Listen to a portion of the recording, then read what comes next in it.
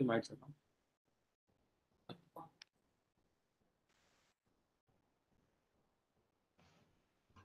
Uh, Good evening and uh, welcome you all to this, uh, again, interesting as a webinar on uh, carpal instability.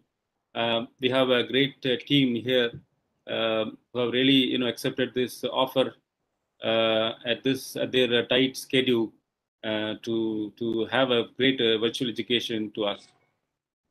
Thank you, uh, Dr. Michael, uh, Dr. Toshi Nakamura, uh, Dr. Patrick Hue, and Dr. Romano, who have been here with us during this, uh, you know, great session, and uh, Dr. Binoy for moderating this session. Um, it was a long due, as was mentioned with Dr. Michael, um, and we have the legends of wrist and carpal stability who can, you know, talk really on those subjects which we had really been thinking of a gray and a dark uh, zones. Uh, with this uh, brief uh, introduction, um, I welcome Dr. uh, Michael, um, who is the associate uh, uh, professor um, from the uh, Center of Orthopedic and Trauma Research, uh, University of Adelaide, Australia. Um, and uh, he has been the uh, past uh, president of Australian Hand Society. Um, he was the past president of uh, the uh, Shoulder and Elbow Society of the Australian, associate editor of uh, Journal of Shoulder and Elbow Surgery. Uh, Dr. Michael, um, we are really happy to have you. Uh, please go ahead. Okay, if you give my screen, I'll um, and you can hear me. Okay, Perfect. Go ahead. good. So, you, can you turn my screen on? Uh, you can uh, start presenting your screen. You can move the cursors. Uh, I think that it. Here we are. Yeah, here we go. Yeah. I think we're. I think I'm already screen. I'm already sharing though.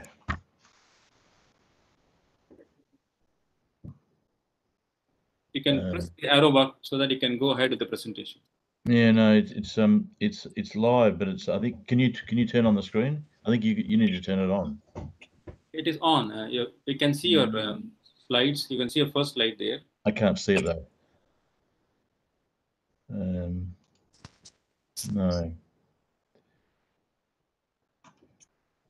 My windows are not um, it's not showing. Uh, Yeah. We can see your Yeah. I'm, I'm, I'm good now. Yeah. Okay. Okay.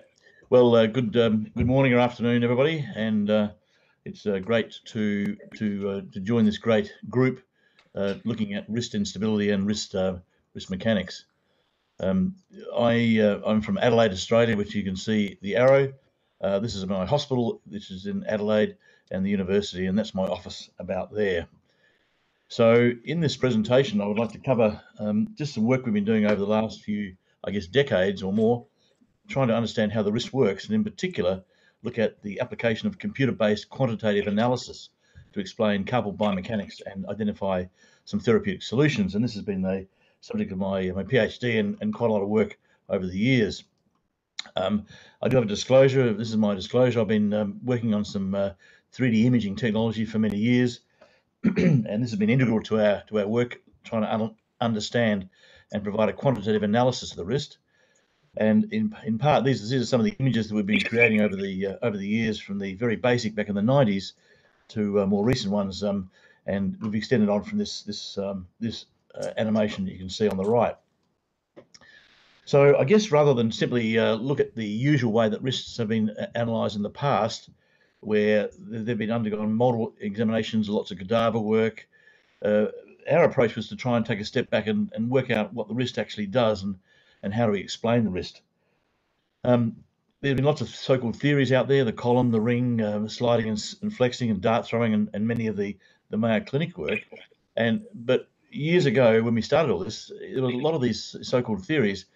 There were a number of un, unexplained mechanical challenges. Um, in particular, the trapezo-scaphoid connection, the differential scapholunate rotation, and how how the lunate was controlled. These things were all really not well explained by so-called existing theories. Now, I think what's interesting is um, the question is what is actually uh, so why has the wrist been so difficult to sort out? I think one of the reasons is that, that all wrists are different. You know, all faces are different, uh, and and each wrist has its own unique shapes, and the bones are different shapes, and the ligaments have different connections, and this has created a big uh, challenge in terms of finding a some sort of unified pattern. And really, the current theories have generally been based on attempts to reconcile voluminous empirical observations, uh, a lot of cadaver work, and other ex, ex vivo and in vitro work. Um, and the aim is really to, um, to, to, to explain the risk in a sort of a, um, a fairly simple way, but this is this has been quite challenging. The other the reality, of course, is that all risks basically perform the same sort of functions and tasks. And uh, I think to start with our work, we need to look at um, what is a theory. Now, I think that uh, what is a theory has been defined as as something that it must explain a system or process based on limited observations. It must be testable and so-called hypothesis testing it can never be proven, but can be validated, enriched, or rejected. And also, it must be predictive. And I think what's happened in uh, in risk research, this really hasn't been uh, theory based. A lot of it, it's been largely empirical observation. It's been quite problematic. Uh, lots of measurements, try and find patterns, crunch the data, try and find a fit, and then try again. But really, there's been no standard risks. Our approach has been somewhat different to this, where we'll be looking at a conceptual or theoretical approach and ask why the risk does what it does, and how it could possibly achieve that. And uh, we make some sort of fairly general observations and then try and identify and propose a theory uh, on how this could happen and then propose uh, hypotheses which we then test. So rather than measure and try and make a fit, we, we make propositions and then try and test if these are validated, enriched, or, or try something else. So we needed a new look at the wrist and uh, we need to move away from the endless measuring of how bones move and try and find out consistent patterns among, or and this try to find consistent patterns what we, what we should be asking is what does the wrist do and how does it do it? And conceptually, how does it do it? So if we look at what the requirements of the wrist are, they are basically um, to, uh, to position the fingers and palm in space and to create the required functions. And what we've found, what we've proposed is that is the main function of the wrist is to provide this sort of second and third metacarpal, this sort of stable central functional axis around which the mobile uh, thenar and hypothenar axes move, or actually move, or elements move and must provide rotational and gripping power within a slim wrist. There are a number of uh, degrees of freedom for any joint. There are pitch and yaw, up and down, back and forwards, in and out. But in reality, the wrist actually only has two that is, flexion extension and radial and ulnar deviation.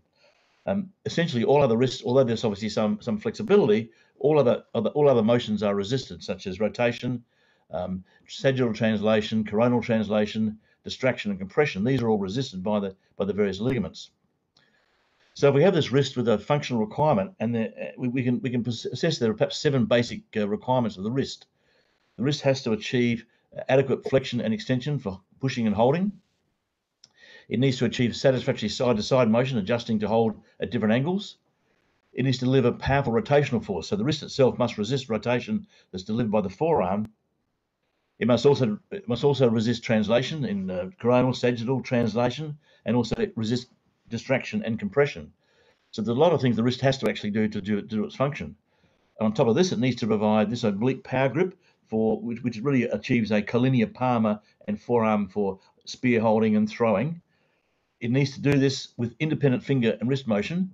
And it needs to do this with a very low distal profile. So there's a lot of demands that the wrist must achieve to do its functional requirements this this uh, on, on the back of this, of course, is the uh, the biological constraints where the bones need to be perfused and have limited articulations, and there are no axles, only connected by external linkages. So there are, and there are also considerable anatomical variations.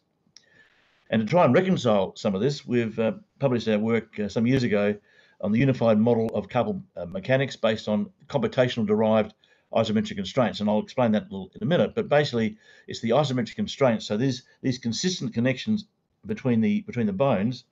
And we've also added this, the concept of rules-based motion to reconcile the variation between the wrists. And this this uh, works to support this so-called standard central column, which we believe is the basis of how the wrist actually works. And so we have this strong connection between the radius, the lunate, the capitate, and the second and third metacarpal, this sort of stable central column. Now, in our work, we found that uh, we had wrists which we, we positioned in, radial and ulnar deviation. We then created 3D uh, models, and we assessed the which areas remained isometric through range, and we certainly found them. There was there were areas on the triquetrum and the lunate, the lunate radius, and the scaphotrapezium, trapezium, as well as the dorsal, and these corresponded to uh, the long the lunotriquetral, the long radial lunate, and the scaphotrapezium trapezium ligaments on the volar side, and the scaphoid lunate on the dorsal. And, and these, in fact, are connections that the computer found, not what we actually then assessed. So this was a, an extractive or computational analysis, uh, which happened to uh, match exactly the ligaments that were been described. Well, not all of them. In fact, we found the long radial lunate before it had been described. What was also quite fascinating is that um, if we looked at the wrist in radial and ulnar deviation, but also flexion extension, the, the same isometric constraints applied, which which basically imply which basically implies that the proximal row, if we look at the, specifically the proximal row, can only move through one arc of motion. So if if these bones have isometric constraints which are consistent through flexion extension and radial and ulnar deviation, then the proximal row must only move through one arc through those two those two ranges of motion, which is kind of a kind of a challenge. And what's also interesting too is we also found that the distal row moved through a, through a very specific and very constrained arc of the uh, uh, sitting on the distal row. And this ma matches with Moritomo's work where the distal row was actually uh, attached to the scaphoid and basically rotated through a, a single axis. Now, the, the thing we've found as well is that the this axis actually rotates as the triquetrum rotates. So, and I'll show you that in a minute, but the the distal row rotates on the proximal row, pivoting around the scaphoid. And so we're starting to build up this sort of pattern of, uh, of linkage between the uh, between the rows. Now, in the mechanical world, and this is a clearly a very a very schematic uh, representation of how this might actually work. We could this, we could probably achieve this by having these two cylinders, the distal row and the proximal row, and basically what happens is these they're they're attached at one end very rigidly, and uh, they have a variable or a movable uh, sort of rotating uh, rotating pivot at the other end. So it's fixed at the scaphoid end and rotates on the ulnar side. And so what happens is that when the wrist goes into radial deviation, the, the, the proximal row flexes, the distal row extends, that gives us radial deviation. And as the, the, the uh, rows offset, this gives us the, uh, the, different, the differential rotation. And again, similarly, on, on, a, on a deviation, this extends and this flexes. And, was, and so what we basically have, have suggested that the the wrist can be described as two cylinders in sort of schematic form. When the cylinders move in the same direction, you we uh, you can, can achieve flexion extension. When it goes in opposite directions, basically what we're achieving is radial ulnar deviation. Now, this is all very well in this sort of very, very schematic, but if we actually look at this wrist here, so these are 3D models which are which will move um, obviously artificially, but what we're basically doing is looking at the proximal row and the distal row as they move through uh, in, in sort, of, sort of sequence, which is clearly artificial. So the proximal row flexes, distal row flexes. So this gives us flexion, as you can see here. And if you look on the side now, so distal proximal flexes, distal row flexes, this gives us flexion. Similarly, extension and extension. And so the two rows moving through a single arc of motion give us flexion extension. Now, how does this work for radial and ulnar deviation? Well, in radial deviation, the proximal row will flex and the distal row will extend. And notice how the triquetrum moves to change the offset. So we, we, we can achieve uh, through a single uh, a single arc of motion on each row, this differential, um, and similarly with ulnar deviation, extension, and flexion. Now clearly there's more there's more given the joints, but this is a way to explain how the the two rows can uh, can move in a single axis, but but achieve the two degrees of freedom.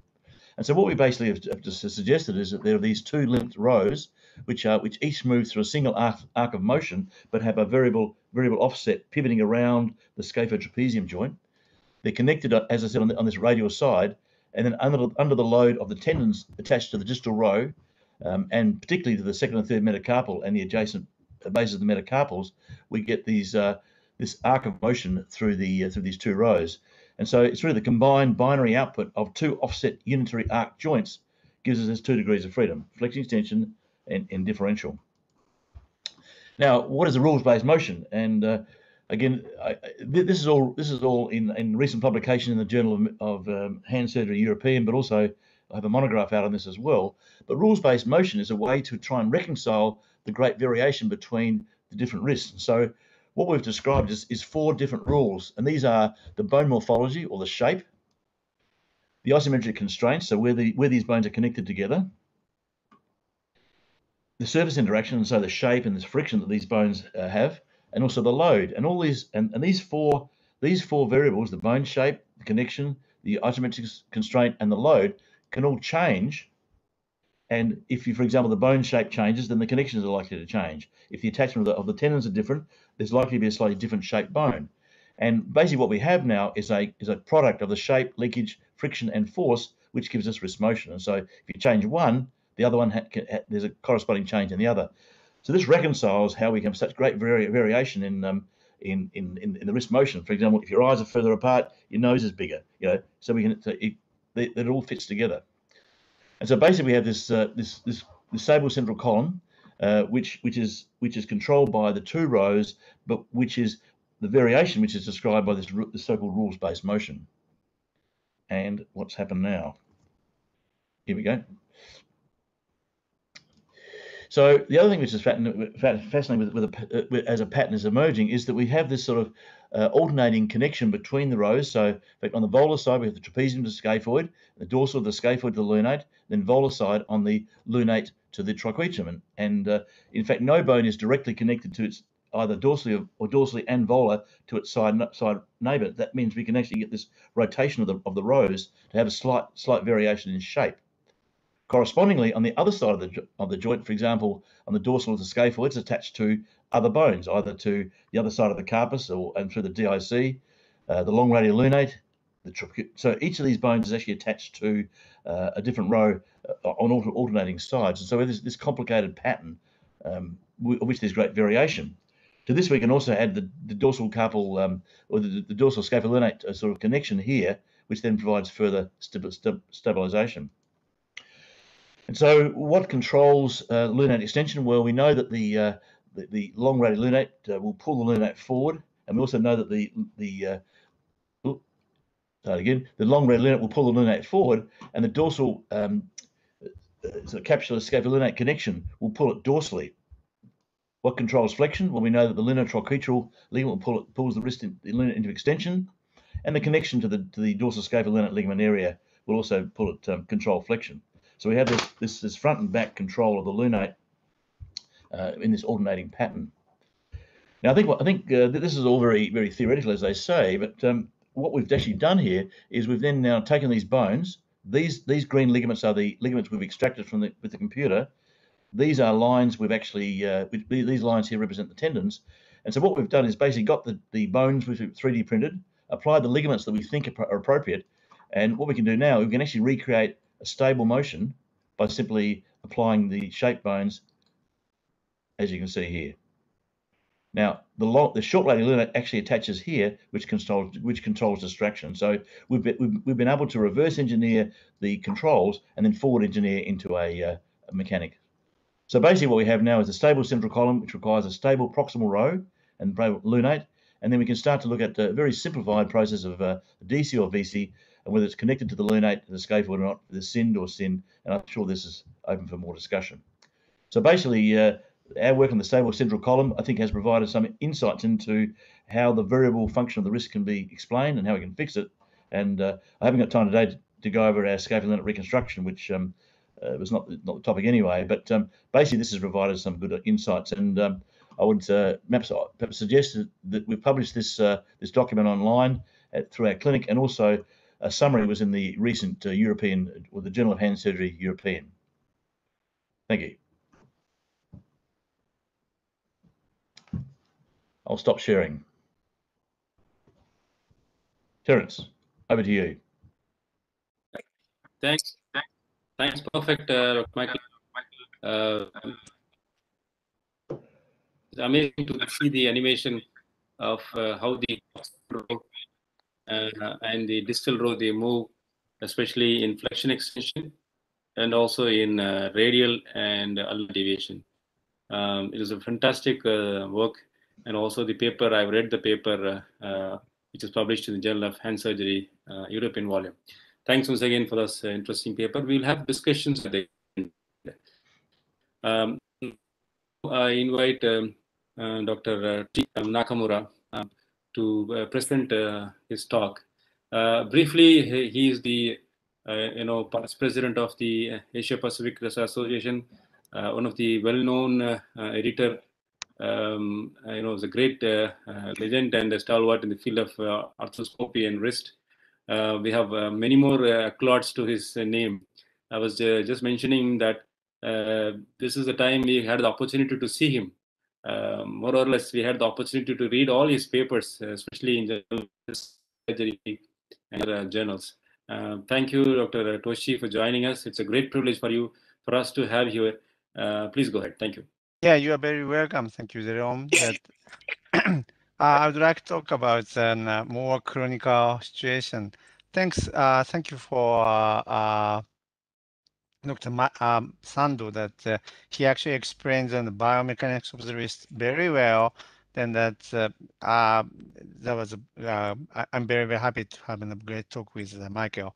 So my talk is scaphoid ligament reconstruction using the capital hamate bone ligament bond. This is my case series of the SL ligament reconstruction. So there's no COI in this presentation. So scaphoid interosseous ligament is a very important uh, structure between the scaphoid and the lunate. This is an intercalated ligament. Then uh, the dorsal side of the SL ligament is much stronger than comparing with the proximal side membranous part or a part.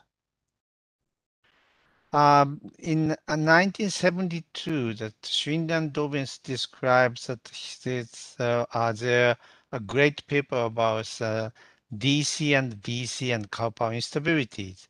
Then that he mentioned that the, the lunate is a keystone. So if there is a scapholunate gapping, then that uh, normally the scaphoid flexes, then triquetrum tends to extend. That can show the DC deformities. Uh, after, gradually after the uh, initial injury of the SL ligament. So SL ligament instability is one of the uh, important uh, popular wrist injuries. It can be injured independently, but sometimes associated with the distal lattice fracture. Normally, that large extension force applied on the SL ligament may result in SL ligament injuries, uh, especially in a traffic accident, sports, and, and also that outstretched hand in a uh, fall then that we consider that the treatment of SL ligament uh, is very difficult. Uh, Geissler uh, in, uh, mentioned his uh, arthroscopic classification in 1996. Then he mentioned that grade 1 to grade 4. Then uh, mostly that grade 3 and grade 4 injury has uh, severe damage on the SL ligament.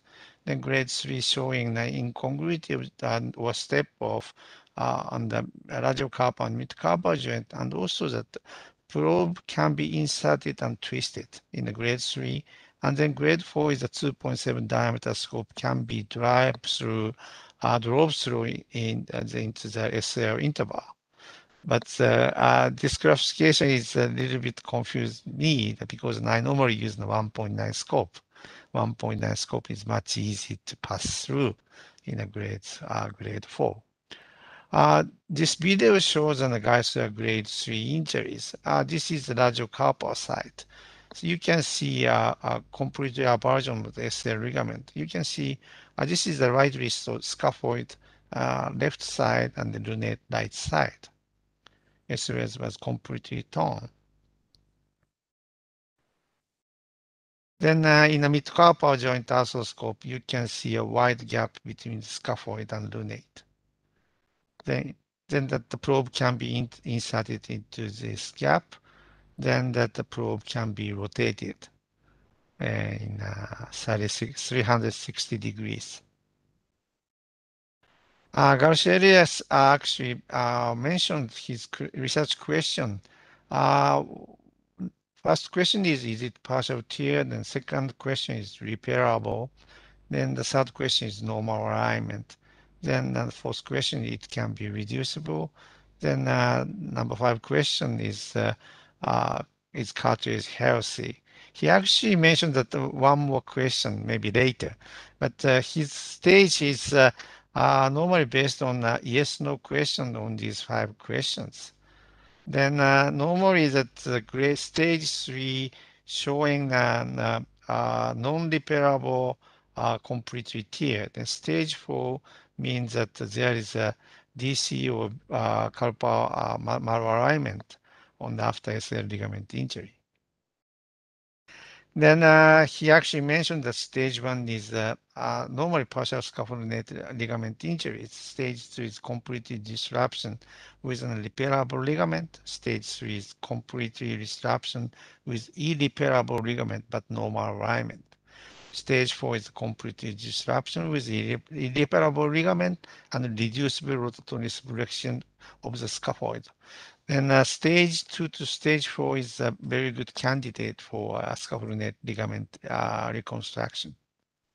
Then uh, stage six showing the chronic SL disruption with the cartilage loss normally goes to the four corner fusion or proximal row carpectomy. Uh, treatment for SL dissociation, uh, the Garcia-Elias mentioned that stage one is normally treated with an pinning, stage two is directly repair, stage three is a bone ligament bone reconstruction. Uh, the Cuénod reporting the second CM bone ligament bone. Then uh, stage three is also uh, treated by a DIC reinforcement, uh, which was described by Viegas. Then the stage four is, uh, uh, he mentioned that the three ligament tenodesis can work. This is a uh, an example of the SL ligament pinning. You can see a, a wide gapping between the scaphoid in the fresh distal radius fractures.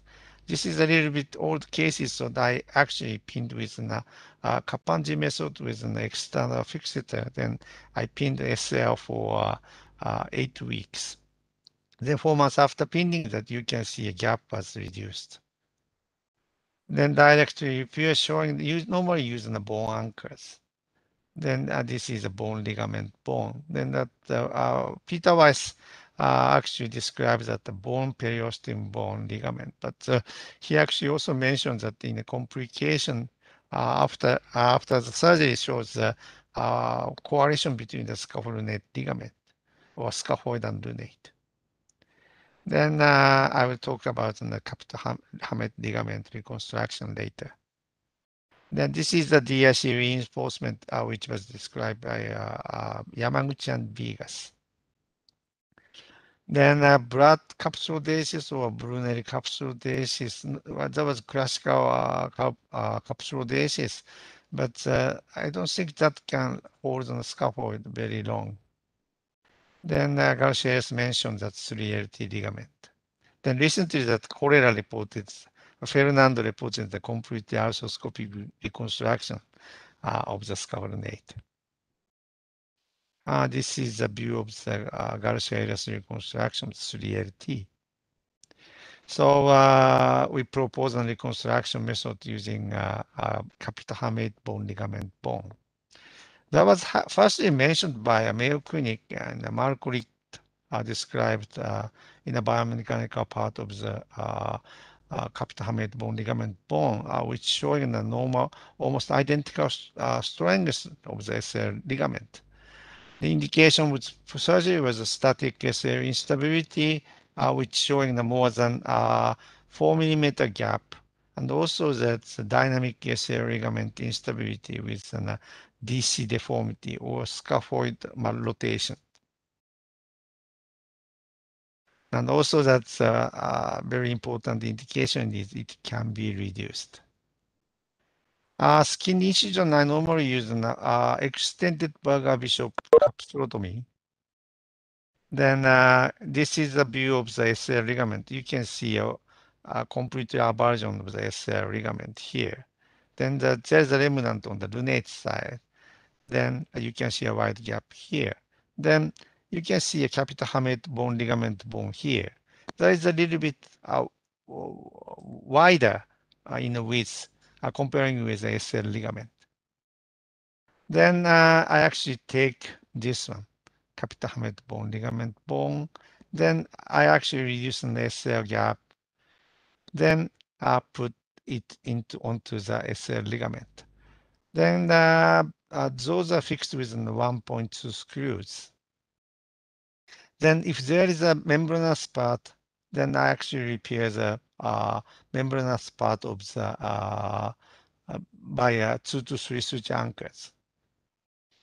Then uh, this is very important. Because the capital hamate bone ligament bone includes a cartilage of the capitate and hamate. Then that can online on the scaphoid cartilage and lunate cartilage. Then uh, in this situation that there is no uh, bone uh, formation or coalition of the scaphoid and lunate. Then at, after the uh, reconstruction ACL ligament, then membranous portion was uh, repaired by a suture anchors. This is uh, after surg surgical view. Then uh, now that I put two pins on the capital, a scaphoid capitate and one pin on the ACL. Uh, since 2008 and 18, this underwent necessary reconstruction using the bone uh, capital hamate ligament bone. Then at uh, male, it was uh, 15 and two female. Then uh, ACL gap uh, more than 3 millimeters showing in a 16 list. Then uh, cause of the uh, trauma was fall in 10 cases, sports in 6, and 2 in the traffic accident. Bus as uh, reduced uh, preoperative 70 to 14. Then uh, this extension fraction is a little bit reduced by fraction because of the this is the dorsal incision on here. So that is why that uh, maybe the dorsal side has a much more scar that can actually loss of flexion. Then modified Mayo score showing the uh, nine excellent, eight good, and one fair clinical result. And also that uh, those uh, include the more sports activity persons then uh, one Paralympic judo uh, players act after reconstruction of the ACL ligament. Then uh, he got the bronze medal in 2016 the Olympic Games. Then the, then uh, also that uh, uh, two cases were professional boxers, one judo player, one weightlifting play, players. Uh, this is a, a case example that there is a, the professional boxers are reconstructing SL ligament very well. SL gap, uh, ACL angle is uh, uh, changed to the 58 degrees and RL angle showing the 4 degrees, little bit DC deformity. Uh, first case is a 32 years old male with, uh, who shows the complete avulsion of the SL. Then uh, you can see a complete avulsion of the ACL here. Then I reconstruct the uh, uh, ACL ligament by a capital hamate bone ligament bone. Then at that moment that I actually did not trust my operations that I actually checked an uh, ACL uh, after um, eight weeks after the surgery, you can see a complete repair of the ACL here. Then that uh, five years later, that he shows an almost normal range of the flexion extension. Then uh, he obtained an excellent clinical results. And also that uh, radial deviation showing the normal uh, alignment of the ACL ligament five years after the surgery.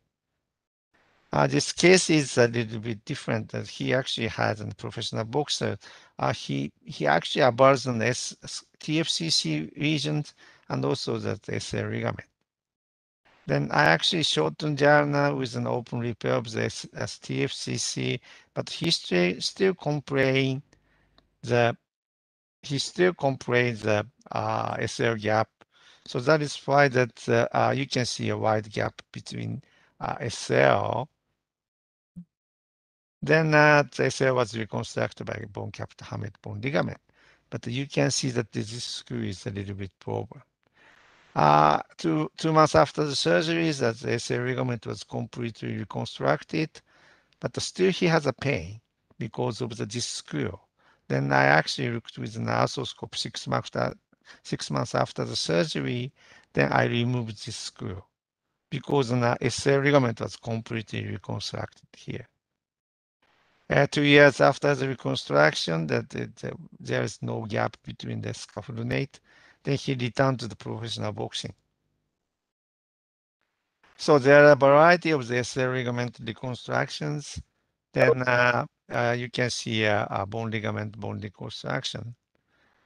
Then that capital bone ligament was uh, almost uh, biomechanically uh, identical mechanical property to the ACL, which was published in uh, Rittenberger in Journal of Surgery, American volume in 1999.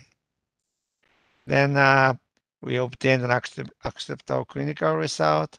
then that that can show that uh, one uh, of the surgical option uh, for SL ligament uh, reconstruction.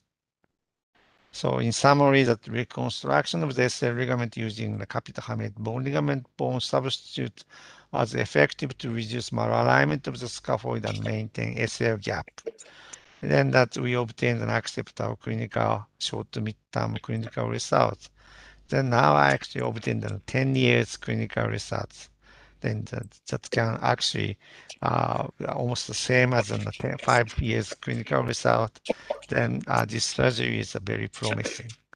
Thank you for your attention. Uh, thank you, Dr. Nakamura. Uh, it was amazing, as always, uh, your talk. Uh, really, we have enjoyed your talk and learned many things, especially um, as you mentioned about the stage of treatment and your surgical methods of the bone to bone ligament and replacing the scapholunate with the yeah replace structure. So and the results are also thank you. Uh, you know, welcoming and pleasing to uh, us, and uh, in all aspects, in terms of functional outcome and also uh, the range of movement. Um, Sure. Thank you very much. Uh, okay. Dr. Binoy, unmute yourself, please. Hello. Welcome, Dr. Uh, Go ahead, Huey go ahead. Pat- uh, Patrick. So wait, Pa- hello. Uh, Am I audible? Hello. Yes. Am, am I audible? Do you have any question on? I actually No, uh, No. we, we will keep the questions for the uh, towards the end of the session. okay. So uh, uh, let me introduce uh, introduce uh, Dr. Pat- Patrick. Uh, Dr. Pat- Patrick is a senior consultant who is uh, with a vast experience of 27 years of hand surgery practice uh, in Paris. Dr. Houvet works in the Institut Franck uh, de Chirurgie de la in Paris. Uh, Dr. Houvet specializes uh, in the his main interest are the partial wrist fusions, and he has patented several medical devices as well. He's an active member of uh, French and uh, most of the American societies. Uh, uh, Dr. Houvet Patrick, welcome to the session. Thank you very much, Dr. Binoy. Thank you, Dr. Terence, to invite me for this webinar. Um, can you see my? Uh,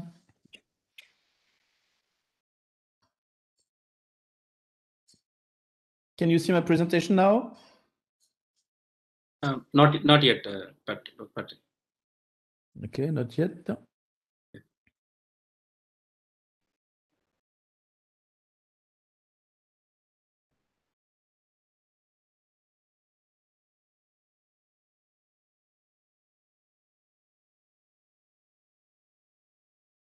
Yeah, we can see that uh, slides. You can see my slides or not? Yeah, we, we can we can see, but uh, yeah, perfect. Please go ahead. Is it okay? Yeah, great. Is it is it better like this? Yeah, great. Please go ahead. Okay. So, um, yeah.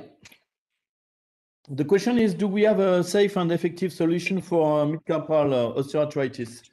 According to um, Dr. Sandow, the um, wrist is supposed to orient the hand in space after the elbow and shoulder action.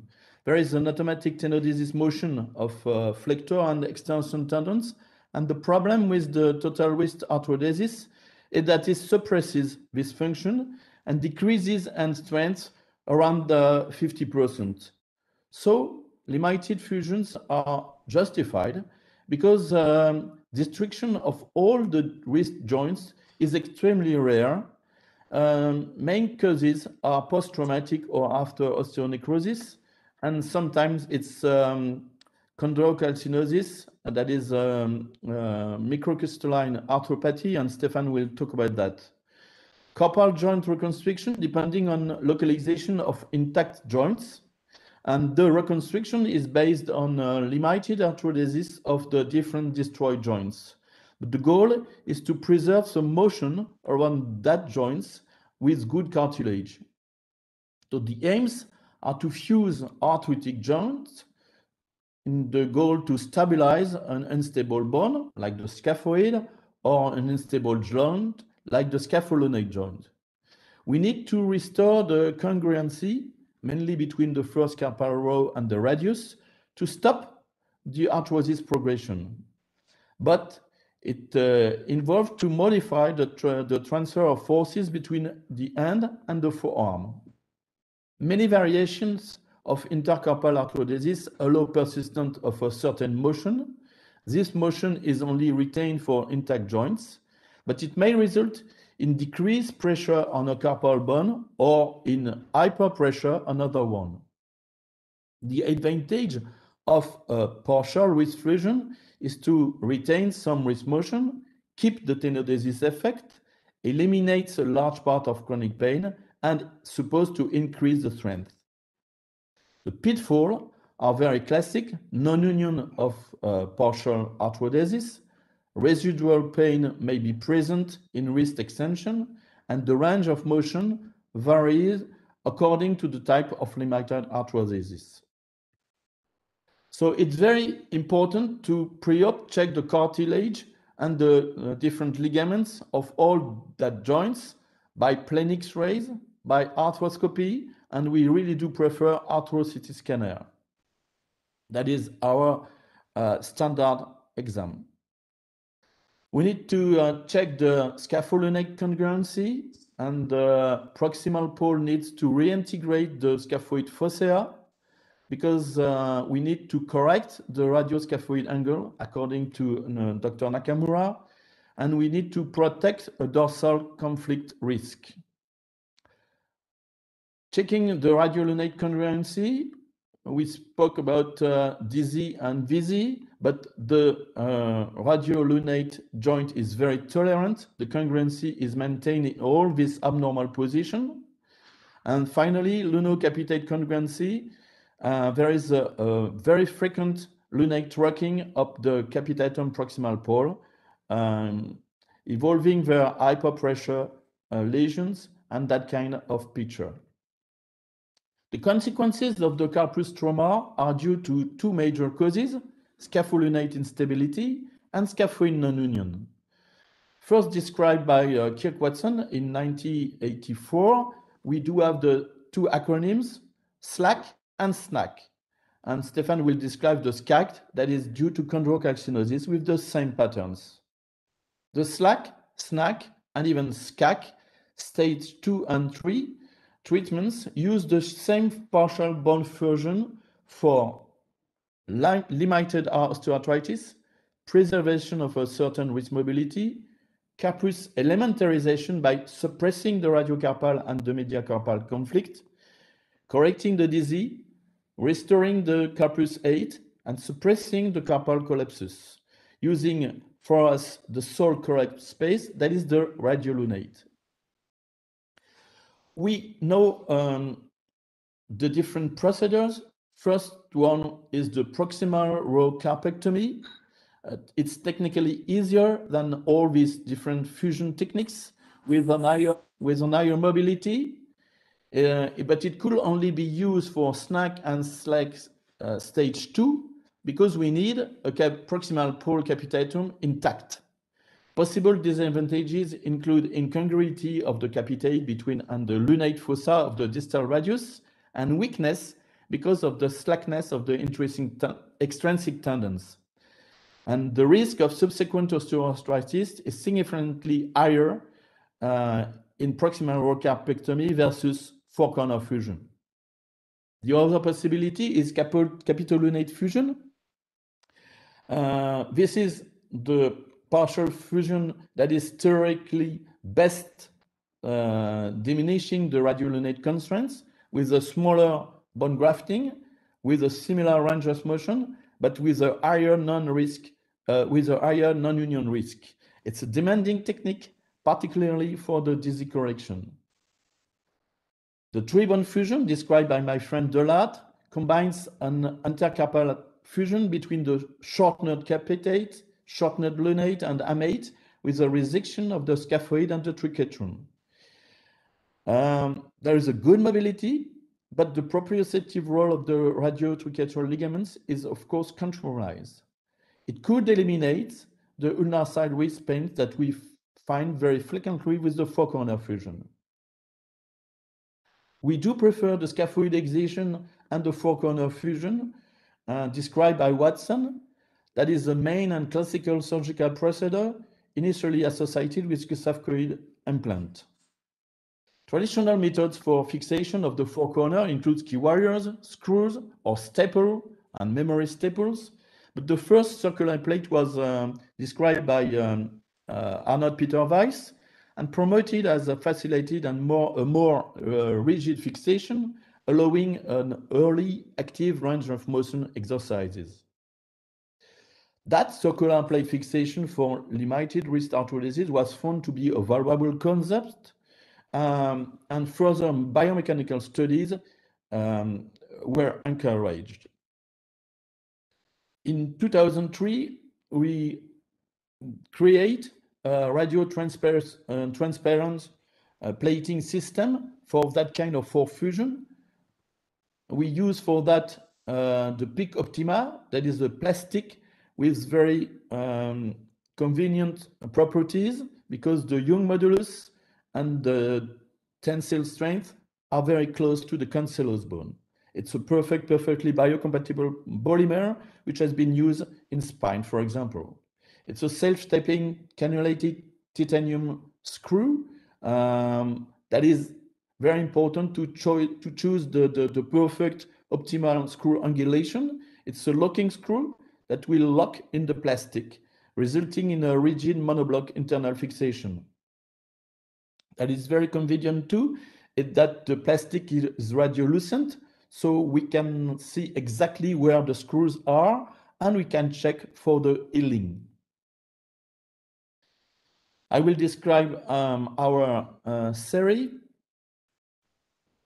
We uh, reviewed uh, our 10 years um, patients with 71 patients available for follow-up that means 22 females and 44 manual, uh, 40, and 49 males uh, with a mean follow-up of 63 months. The operative technique is very standard. Uh, we perform a longitudinal skin incision along the line of the third compartment, and then the third compartment is opened and the extensor pollicis longus is uh, retracted the fourth compartment is picked up right, and the extension tendons are retracted with the posterior interosseous neurectomy. We still do this neurectomy. A ligament sparing capsulotomy is performed um, according to Berger uh, description, and the radial based capsule flap is elevated to expose both radial carpal and midcarpal joints. First, we examine the radiolunate and if both radial side and lunate are without degenerative changes, one can perform a scaphoid excision. Using, using uh, sharp elevators, soft tissue attachments are elevated from the scaphoid until it is removed, totally removed. Fusion sites are carefully prepared, and this is probably the most important part of the procedure. We need to do a meticulous decortication of the remaining cartilage using scalpel, curette, rongeur, or osteotomy. That is really better than burying. Excision of the osteophytes at the dorsal distal part is another key point. Correction of the DISI deformity is mandatory to prevent the, radio, the dorsal radiocarpal impingement. We need for that X-ray uh, with a fluoroscan per control we use, of course, the joystick lunatum described by Linscheid to correct the DISI deformity. So we use a temporarily distal uh, K-wire through the, the distal part of the radius, fixing the lunate as palmar as possible to avoid the contact with the burr. Finally, bone graft coming from um, the Lister tubercle is packed in between the joint surfaces Another key warriors, uh, other key warriors are placed from the capitate to the triquetrum and from the hamate to the lunate to maintain the perfect alignment. If we are in a Viegas type 2, uh, the natural position should be maintained without hyperreduction. The depth of the reaming should be such that the top of the plate flush the edge of the cortical cortex. If not, there is a risk of a dorsal radius impingement. And be careful to not too much complete the bone graft stock at the back of the plate because it could be another cause of dorsal radial impingement. We need to rotate the plate to maximize the number of screws in each bone. And if it's possible, it's better to put two screws in each bone.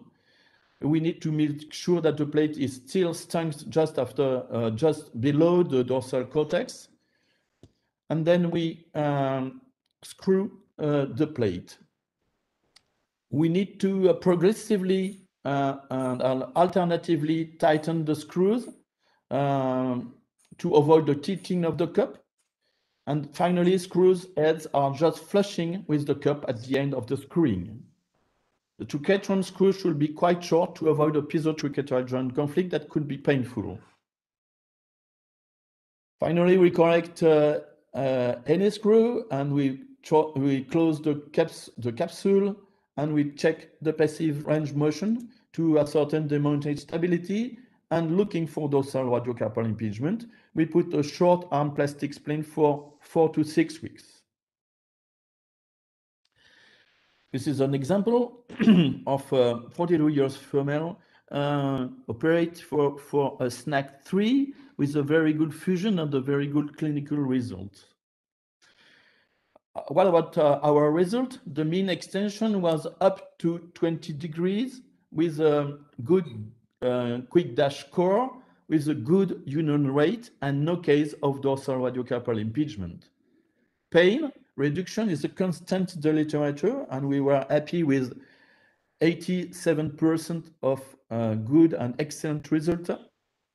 Uh, the range of mobility mm, uh, value are varying uh, in the literature, but uh, our range of mobility was around 66 degree with 70% of the opposite uh, strength. Wrist extension, as I told you, was up to 20 degrees and zero cases of dorsal radiocarpal conflict. Non-union is a classic uh, complication and our rate was four cases. That means 5%. That is globally less than uh, other uh, series. Um, we do um, revision surgery for four patients, that is 5%, uh, with a very good consolation, uh, cons uh, healing finally, and none necessitated a radiocarpal or total wrist arthrodesis. We've, we can find a lot of uh, series from these two decades. Um, and we published two different series with these results. Uh, we can find a lot of, um, we can find five um, bad series with a higher number of non-union, with bad strengths, and with bad implant failure. But as we can see in this kind of series, the complications are not only due to uh, the material. Careful evaluation of these reports uh, needs to be very well uh, documented because implicate, implicating the implant as the major cause of the complication uh, is not the um, good solution. There is a lot of traps in this technique.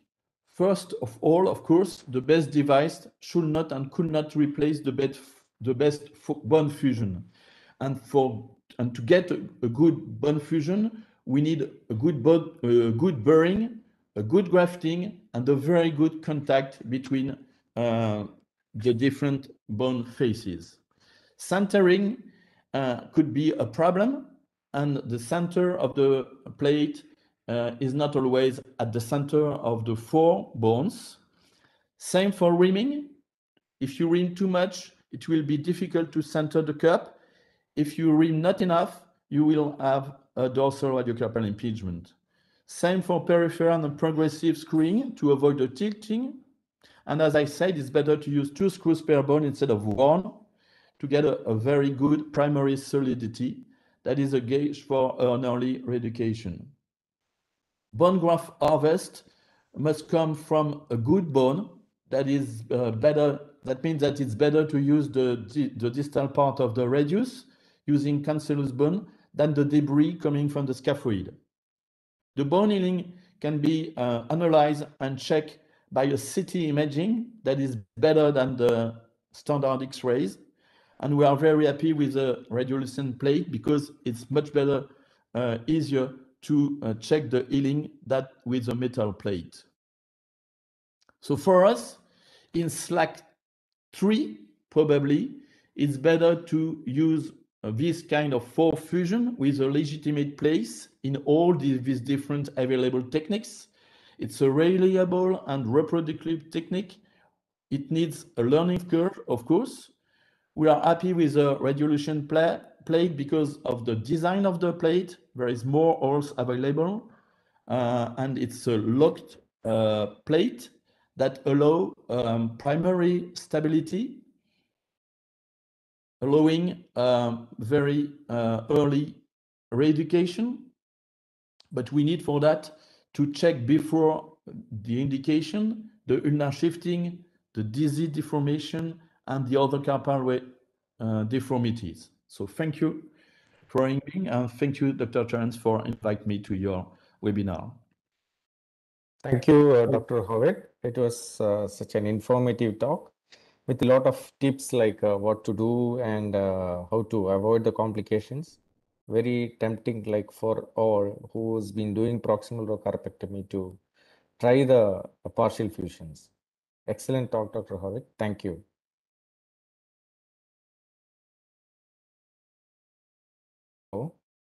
Go Yes. ahead?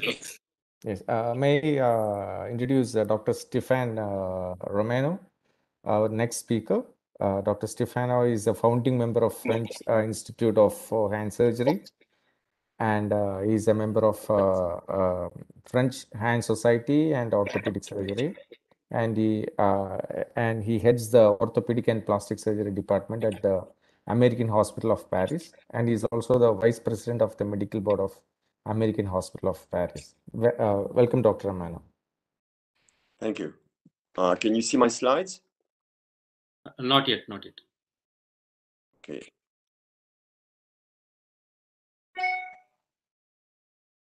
Do you Même see problème, them? faut que, tu- faut que tu cliques sur partager.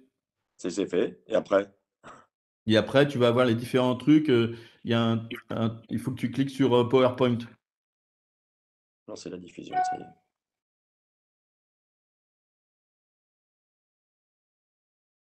Ouais.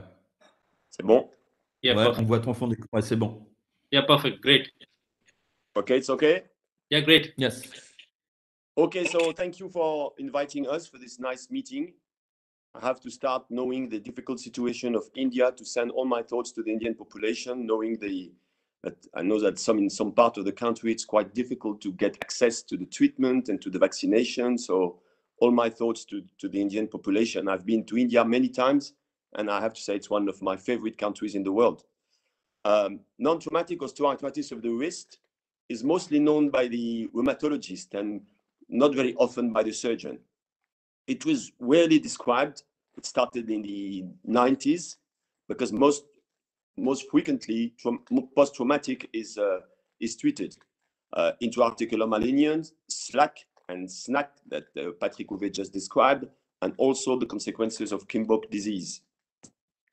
It was first uh, described in a surgery uh, journal in 1984 by Resnick, who is in fact a rheumatologist, uh, by a letter to the editor um, answering uh, uh, about uh, answering a, a paper from Kirk Watson in 1984, where a few SLACs were in fact not due to a trauma, and the rheumatologist Dr. Resnick um, told that there was in all those cases it was uh, old patients. There was no trauma in the past. It was bilateral injuries, and there was calcium deposit in the plain X-rays. So in this letter, he says, be careful. In those cases, some patients are not SLAC injury, but probably there's something else, which which is chondrocalcinosis. There were in the past there was also some other papers, but mostly in rheumatologist uh, journal, like 1963, 1974, Resnick again, And this, this disease was called at that time by the, by the rheumatologist pseudobuteus disease because of the similarity of the symptoms of the of those of the crisis of, of chondrocalcinosis with inflammation and pain and redness of the skin, uh, similar to, to, to gut and to hyperuric acid uh, disease. Another French study in 1975, also in uh, by but in a radiological journal. Another one, but this paper is interesting because in this paper they first started to to describe the specific aspects of the of the X-ray in chondrocalcinosis, the so-called embedding of the scaphoid bone inside the radius, which is very different to the SLAC injury, where the scaphoid is lying horizontally in this chondrocalcinosis, and we will see it later. The scaphoid is at the opposite, vertical, and embedding inside the radius. There is also a mid-carpal dislocation, like in the SNAC and the SLAC at the late disease, but there are more loose bodies than the disease I was talking about. And of course, those specific calcium deposit that we can find in all the wrist, but specifically in the ATFCC. Clinical findings. Usually it's a very old patient and the disease has started many decades ago. The one of the bigger difference, clinically speaking, of those of those of this uh, this pathology is that when you have a SLAC or a SNAC wrist, in the beginning of the generative change of the wrist on the X-ray, the patient is painful, which is not the case in chondrocalcinosis. You can find patients that are starting to be painful many decades after the beginning of the changes on the X-ray. It's, so I was saying it's an old patient, the disease started decades ago, no difference between male and female compared to SLAC and SNAC injuries, which because of the trauma are more frequent on male. There is usually a wrist um, um, disease before the knee disease on chondrocalcinosis. The STT is damaged and it's often a bilateral injury. Clinical findings, it can be in the beginning a carpal syndrome and on 40% of the cases, this is the first symptoms. And if you see an old patient with carpal syndrome with a big painful wrist, should do an X-ray and very often you can find this chondrocalcinosis, which can be symptomatical only on the carpal syndrome. It doesn't mean doesn't mean you have to operate the, the wrist, but you can find it and you can tell the patient and you can explain the patient that he also have a disease on his bones. Why is there a carpal syndrome? Probably because of the synovitis of the flexor tendon, which make no more room for the nerve in the carpal in the carpal tunnel, but also because of loose bodies and osteophytes that you find in chondrocalcinosis. I told you there's a long medical history. Very in the beginning of the disease, the X-ray looks normal. There is some acute crisis followed by calm periods, and those acute crises they can resemble an arthritic, uh, an, septic arthritis, and uh, it's quite common in my activity in my act activity to be called in the emergency room for a so-called septic arthritis of the wrist, and I find an old patient with a big red wrist with a lot of pain and inflammation, and in fact there is of course no infection, but there, it's it's a chondrocalcinosis. You can find this typical swelling of the dorsal radial aspect of the wrist, which is due to the localized synovitis, to the osteophytes, and to the loose bodies, which are very numerous in this disease. There is often a lo lower mobility and, of course, a decreased strength, but it is difficult to measure this on elderly patients. Radiology. I start by the less common pattern, which is the mid-carpal, the mid-carpal uh, injury that someone after me called the stage four. It is quite rare, but you have to know that if you find an isolated mid-carpal damage of the cartilage, cartilage were on the mid-carpal joint and only on the cartilage on the on the mid-carpal joint without any injury, without any other etiology, it could be and usually it is a chondrocalcinosis of the wrist. Although it is it is uncommon, I will I wanted to show you this this picture. The most common pattern is this one. The scaphoid it's it's associated with a scapholunate dissociation resembling on some points to the SLAC wrist. As You can see on the right side that the scaphoid on the opposite of the SLAC wrist is completely vertical. It's embedding inside the radius, and you can see you can see the small cave, the small embedding of the radius, which has which which which shape has changed because of the embedding of the scaphoid bone. The evolution goes to a big radioscaphoid wear, just like in the SLAC and the SNAC, but also and always with this typical vertical scaphoid embedding in the radius. And at the end, there is also a capitolunate dislocation, which can resemble in some cases uh, to uh, all the um, uh, lunate dis dislocations. Because of the similarity to SLAC and SNAC, we introduced in 2003 the notion, the concept of SCAC, scaphoid chondrocalcinosis advanced collapse, which, uh, and there is an evolution in four stages, similar to the SLAC and SNAC. The SCAC one, usually the X-ray is almost normal, but if you can look carefully, you can see there's some, um, the, the, the bone is very dense next to the proximal pole of the scaphoid. And if you look more carefully, you can even see a small there is a bone problem on the on the on the on the proximal pole. On the SCAC one, you can look carefully and you have to find those those uh, calcium deposits, especially on the TFCC, like on the X-ray, but it can be in other places. It can be minimal, but it's very typical when you find this. On SCAC two, the radioscaphoid injury is more more more important. There is a verticalization of the scaphoid, as I said, slowly embedding inside the radius. And the lunocapitate joint is starting to be damaged also, which make it similar to the SNAC. because as you know, in the SLAC2, there is no uh, damage of the, of the lunocapitate joint. In the SNAC, there can be a small injury on this, on this, on this joint. In the SCAC2, there is already a damage on the on the capitolunate joint um, cartilage the carpal height and the global architecture of the, of the, of the wrist is preserved due to the verticalization of the scaphoid on opposite of the, of the SLAC when the, the horizontalization of the scaphoid made the, make the wrist shorter.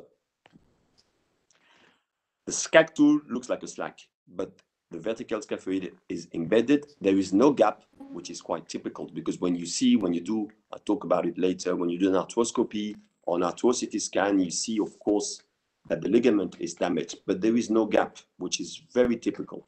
And there is also those calcium deposit and loose bodies inside the joint. SCAC3, there is a huge mid-carpal dislocation. The scaphoid is totally embedded in the radius with an important destruction of the subchondral bone that you don't see in SLAC and SNAC. You can see a cartilage damage in SLAC and SNAC. You can see a small a small wear on the, on the bone, but not as much as you can see on those, on those SCAC3. You can see an image here. There is also, of course, a disease, but the scapholunate dissociation is longitudinal. It's not like in the SLAC. And it resembles a late periodontal dislocation. Although the context is different because, as I told you earlier, it's usually an elderly patient with the injury on both sides. SCAC4 is rare and it's uh, due to the very to the very long uh, life of the radiolunate joint. As you know, in all diseases, it's the last joint to be damaged. In my first classification, that's what I call the SCAC4. Another author uh, a few years ago called the, the SCAC4 the mid-carpal uh, injury that I showed you earlier. Usually the patient doesn't go to the surgeon. They're followed by their medical, their general practitioner, the rheumatologist, because the evolution is very slow and the, the only time they're painful is in those very typical crises, pseudogluteus crisis. You can see this example of a patient I treated in the 2000. But in 82, he was already having some crisis. The, the X-ray was called normal. In 1989, it was not called normal, but it was this typical embedding of the scaphoid that you can see. You can see it here, the typical embedding. But as you can see, in 1998, it's the same patient, although 10 years after, and you can see the embedding is much more important now. And there's also this dislocation of the mid-carpal joint that you can see here. As Patrick Houvet told you, we favor the arthro CT scan, although the, the arthroscopy of the wrist is a very good um, way of evaluating the, the damage of the cartilage and the damage of the ligament. In France, surgeons are quite reluctant to do a surgery to have an information we like to do surgery when we need to treat some patients, but there is a little, um, let's say, low problem if you do surgery on the patient just to have information about his risk. So it's not very common in France to do an arthroscopy just for diagnosis. That's why we, one of our one of our good radiologists, Dr. Pigeot, invented the arthro CT scan uh, more than 20 years ago. It is a tri-compartmental arthrography followed less than 20 minutes later by a CT scan. The 20 minutes time is very important because if you wait too much, the, the, the product will go inside the ligaments, inside the soft tissue, and the contrast will be less, less nice between the black ligament and the white joint. You can assess the cartilage, you can assess the ligaments, and you can choose, as Patrick Houvet said earlier, the exact type of surgery and the exact type of fusion that you can do following the information you have about the cartilage wear. That's an example of, a, of an arthro-CT for a SCAC3. You can see here the nice cartilage with the black line. You can see the black line here, and you can see here there's no more cartilage on the scaphoid and no more cartilage on the radius where the scaphoid is embedded. That's another image, very interesting image. You see the dislocation of the, of the lunocapitate joint is so important that there is almost no contact between the distal surf, articular surface of the lunate and the head of the capitate. That's another image.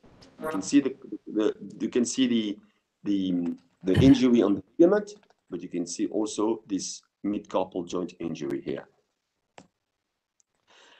That's on this on this on this slide. You can see the X-ray with the embedding of the scaphoid. You can see the arthro and you can see how much bone is damaged here, which is never seen in SLAC or SNAC. There's a big piece of bone that went with the years and is damaged by the vertic verticalization of the scaphoid. And you can see here on the operative view, you can see the proximal pole of the scaphoid with no more cartilage. You can see the the, the, the bone uh, damage here on the radius, and you can see here some calcium deposit. The medical treatment is the golden standard for those diseases. That's why we don't see them so often. Except carpal syndrome treatment, which we can have from time to time.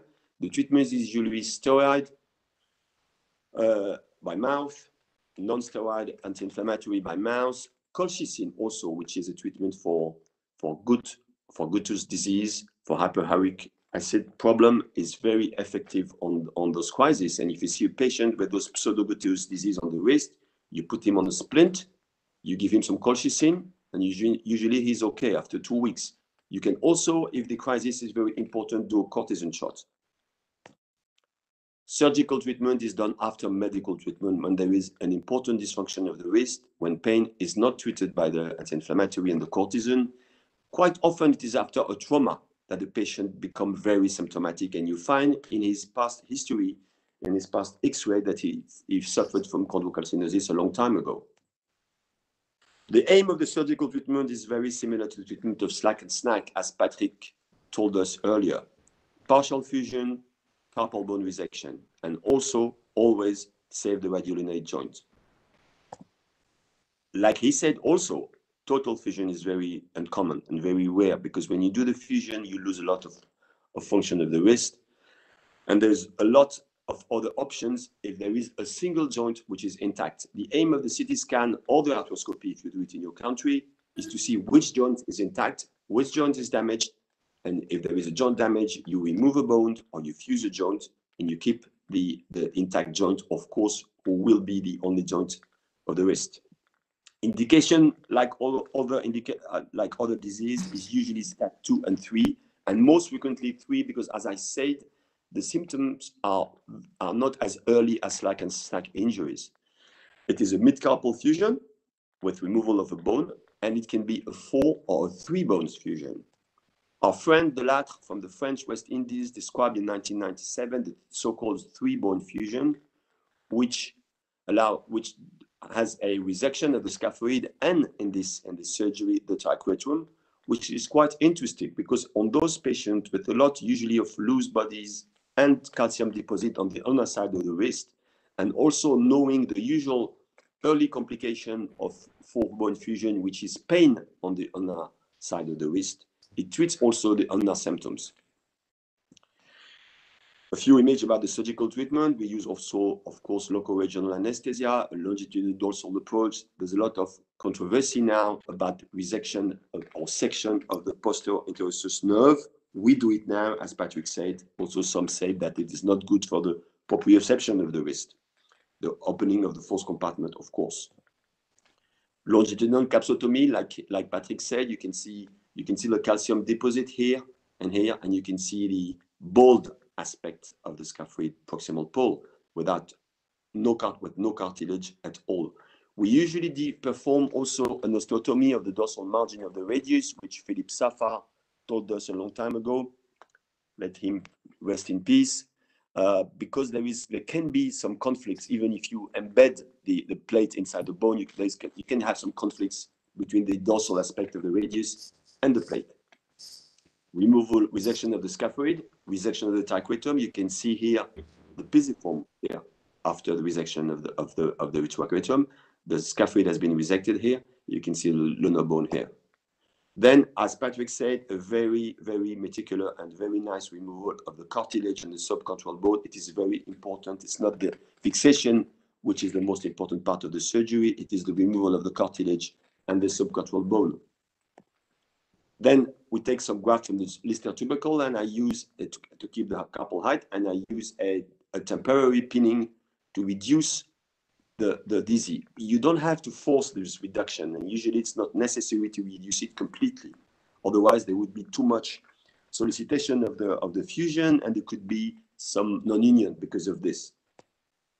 We used to use staples, as you see on the left side, and also those small plates, titanium plates on the on the right side. You can see here the, the Lister tubercle harvesting here. And the plate here, we can have different shapes. But now you can see another one. You can see the post-operative X-ray of the three bone fusion. You can see removal of the scaphoid. You can see the embedding of the scaphoid here. Removal of the triquetrum, staples, plates. But now, as you know, uh, Patrick uh, designed this very nice uh, export plate that we use Uh, every day. Very easy to use, very nice because you can see the bone, you can see the healing. It's a very low profile plate you can see here that the plate is about there. So even in dorsal extension, there will be no conflict between the dorsal aspect of the wrist and the, and the plate. A small series that we did recently, 10 patients, six male, four females, mean age was 70. You see quite old compared to the SLAC and SNAC, which usually are treated between 40 and 50. It's a bilateral pathology on all patients. Two patients had previous operation. You can see on the right side the slide of this patient that had, that had a titanium implant replacement with failure and pain, and one patient has a, had a styloidectomy. Three had previous carpal syndrome release. Results, mean follow-up was 53 months, seven patients had no pain, two patients had pain in maximum motion. One patient was still painful when lifting heavy objects, but when he had the same problem on the other side, he asked for the same surgery. The strength was good and similar to other publication. The range of motion was similar to this type of public of, of, of, of surgery on elderly patient. And on, after a late follow-up, there was no degenerative, change on the X-ray. On summary, although it is a common pathology which is not always painful, when it's symptomatic, it's often mistaken as a post-traumatic SLAC or SNAC wrist. Surgery is rare and at the late state, at the late state, but it can decrease pain Three bone fusion seems to be the right choice because of the removal of the triquetrum. And we can use those new fixation device, but you don't have them available. You can use pins, you can use small plates. But I have to say that since we have those, it's much easier and we have a much lower rate of non-union. Of course, further story is mandatory because the number of cases is not so important. Thank you for your attention. Thank you, Dr. Romano. Uh, wonderful slides, beautiful presentation, and very informative talk also. Like uh, this is one condition each uh, wrist surgeon has to keep in mind uh, who routinely see a lot of uh, wrist patients in his clinic. Uh, I have one question, Dr. Romano. hello. Yes. Can go ahead? Uh, yes, uh, Dr. Romano, how, how like, do you find it easy to remove the scaphoid from the radius or it is a bit difficult and it takes time? Well, the, the, the, removal, the removal of the scaphoid is always a difficult time. When you do a four-corner fusion, a three-corner fusion, it's always a difficult time. The embedding of the scaphoid doesn't make it doesn't make it more difficult. Doesn't make okay. it more difficult. What make it what make it difficult is the the the the chondrocalcinosis itself, which damage all the ligament of the of the joint. So it is very rigid. For example, the STT joint is very rigid, so it's very difficult to move the scaphoid. What I do usually is I, I first cut it in two parts. I remove the proximal part, which is easy, and then I go slowly to the distal part and remove it piece of bone by piece of bone. Okay. So uh, how how often the patients will have it on the bilateral? Like, uh, is it very common to have it on both sides? It's almost always on both sides. Always surgery is not always done on both sides because they are not Okay. usually at the same stage. Okay, okay. So most of the patients end up doing it uh, both sides procedure. Well, not all of them, because as I told you, the surgery is not mandatory. Very often, patients are okay with some inflam- anti-inflammatory from time to time. We use surgery only when there is no other treatment that, that works. So very often, patients have it on two sides, but not so often have surgery on two sides. Okay, okay. Thank thank you, Dr. Man. Thank you, Dr. Amno. Uh, we have a lot of questions today, and we will only take a couple of questions uh, considering the time. Uh, questions to um, Dr. Toshi and uh, Dr. Michael Sandow. Um, since this uh, audience are also from uh, people who are watching YouTube and Facebook, uh, those comments which are answered here uh, will also be uh, useful to them also. Um, I'm going to repeat the question again to both uh. Toshi Nakamura and Michael Sandow. Uh, what is your view about uh, 360 degree repair, uh, uh, which has been uh, in the recent publication, and how often do you use dorsal capsulodesis in all your procedure? Dr. Toshi has answered it, but probably to the wider audience, could you comment on that, Dr. Toshi, and then Dr. Michael Michaelson? Yeah, thank you. Um, actually, the 360 degrees reconstruction means that uh, uh, Fernand Corella's arthroscopic complete reconstruction of the SL using the half slip tendon of the FCR, and also that the PC Ho also describes that his free tendon graft, the PL tendon, wrapping around the, the dorsal and palmar scapular ligament. Uh, I, I I think that there's the two publications. And that Fernand Corella's reconstruction is superb because uh, he actually reconstructs uh, SL anatomically with an uh, uh, half slip tendon of the uh, FCR that can still alive uh, after uh, reconstruction. Also, he uses uh, uh, uh, interference screw to fix to the scaphoid and cap uh, lunate. Um, and I think that my opinion that uh, it works very well, but uh, it is quite difficult to to my understanding. So that is why that uh, I I will try to do this one, but uh, I'm not convinced with that I can successfully uh, do this kind of surgery in arthroscopically. Um, so that uh, yeah, that still I need some time to see his reconstruction in a cadaver workshop. Then at the PC Ho's uh, reconstruction, the, he actually tied down the PL tendon on the scaphoid and lunate. Then that uh, the free graft bone tendon, uh, that can, to my understanding, that cannot last longer uh, because uh, it's a dead uh, tissue. Um, but my capitated ligament bone is also the dead tissue, so that there's a little bit contradiction. But uh, uh, PC Ho's mentioned that uh, uh, his midterm clinical results were excellent, and also that he's showing that during surgery that the reduction of the SL is completely with the tie down on the PL tendon. So that we need uh, more time to uh, clarify that those clinical results. And the second question is uh, capsulodesis. Uh, I actually mentioned that Blatt capsulodesis and Brunelli capsulodesis, uh, but to my understanding, it is not an anatomical uh, reconstruction. And also that uh, I actually have an, uh, uh, many cases of the failure of the Blatt capsulodesis and also Brunelli capsulodesis. So that is why that I actually pinned the scaphocapitate and scapholunate for eight weeks. Then after removal of the pins, then that uh, SL gap, sti- SL gap is still holding. Then that uh, DISI has also reduced. Then, uh, so I don't need many uh, those are capsule capsulodesis in my surgery. Thank you, Dr. Nakamura. Uh, Dr. Michaelson, Yeah, um, I guess our approach has been somewhat different to um, what Toshi is talking about. Um, I, think uh, the the stability of this central column, I think, can be uh, lost with uh, a number of, uh, of, of structures. The scaphotrapezium trapezium ligament, the long radiolunate ligament, the dorsal scapholunate, and I think there are other structures as well, the scaphocapitate ligament. There's a whole combination of CIND and CID, which can, uh, and I think the key is to try and identify which which is damaged and try and restore the anatomy. Let's say. Now, I think that uh, in my in my images, I I showed that the tri- the triquetrum is actually moving quite a lot, which allows the distal rows to rotate. And I think for that reason, the, the, the 360 repair which goes around and tethers the, the triquetrum is a concern because I think it actually creates a non-physiological tether to the triquetrum. So I think as a principle, it's probably not that sound. So I'm, I'm not so happy with them. Um, and I'm sure Sanj would not like me hearing say that, but I, I think it doesn't make sense to me. Secondly, if we look at the motion of the scaphoid and the lunate, um, uh, as they move to radial and oral deviation in particular, there's a differential rotation.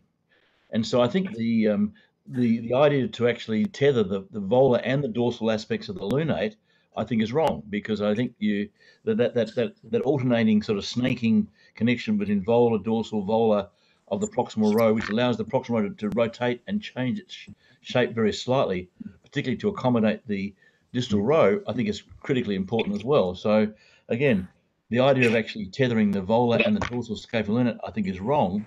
And I think a lot of the work that was done, which identified um, connections on the volar side, basically were uh, maybe incorrectly looking at the long radiolunate ligament contribution to stabilizing the volus lunate. And so I think that the un understanding the long radiolunate is really that important volar structure, not the not the volar scapholunate ligament so much. So uh, I think that, um, and I, am actually not even sure what a capsulodesis actually is. I, I, think it's a it's a sort of a, a general term which just means, I guess, applying some sort of tether to the to the joint, um, which for me is is uh, maybe non-anatomical. The other concern is, and I know Scott Wolfe and I have done a lot of work looking at some cadaver work, and I think this this all sort of, uh, I guess, adds to the hypothesis-based approach to this whole process. Is that um, if we say that this particular structure should be important, and then we go and test this structure on the cadaver, you're more testing a specific, and you're specifically looking for a uh, the contribution rather than simply measuring and then trying to reconcile what what you find. So, you know, again, so, so, so when, when, we, when we talk to Scott about these things, you know, the, the long radiolunate lunate seems to be a much more important ligament than maybe we had thought previously. And so, and the final thing is that we've done, um, and I, we published the ANAFAB procedure, which is a, a dorsal and volar reconstruction. That's been uh, both in the, in European Journal, it's been uh, presented at the American Hand meeting a number of times.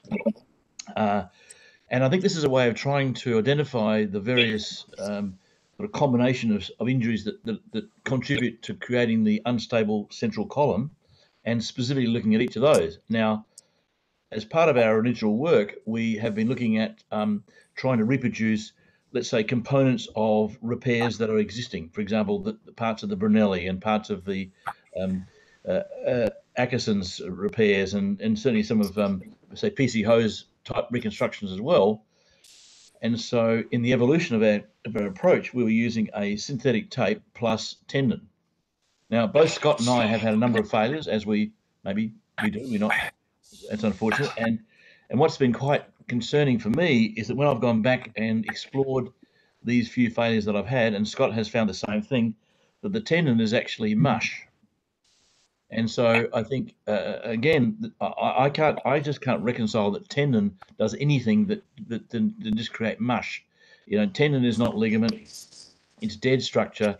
And and and in six out of six six cases that we've actually explored at about the two or three month mark, there is no tendon left. It's, it has no structural integrity at all. And so, uh, in terms of the questions here, I think volar and dorsal scapholunate is probably wrong. I think the the Lunate 360 doesn't make um, doesn't make sense to me, and I think using tendon is uh, is is problematic. And so we're now evolving to looking at our our quantitative analysis to try and diagnose the structures which are damaged, and we're now moving to using only synthetic tapes um, which are secured through drill holes. And we've now done that for the last maybe almost a year now, year or so now, and have actually been quite pleased because I've had a couple of patients would have who have very large um, bone tunnel enlargement, which is bothering me. And I think what's fascinating is that the bone tunnel enlargement, if it was purely a mechanical abrading process, you would expect that to um, sort of saw through the bones in a very, you know, in, in one direction of, of, the force. But in fact, this is actually whole holistic enlargement, and I just wonder whether it's the dead tendon that's causing the enlargement in some of these patients. And um, so, uh, our, on the basis of our work, I've sort of gone right away from a lot of these whole concepts. I, am just not happy with using tendon. I'm not happy with the the, the circumferential.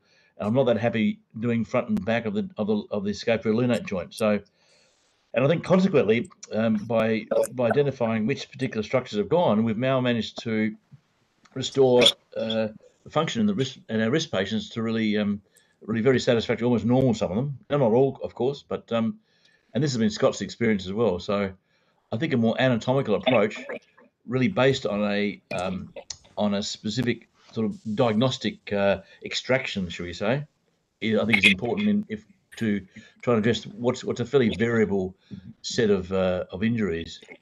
And I guess one further thing is having uh, proper 3D images of the of the the wrist injury to assess exactly what's going on. I think is very important.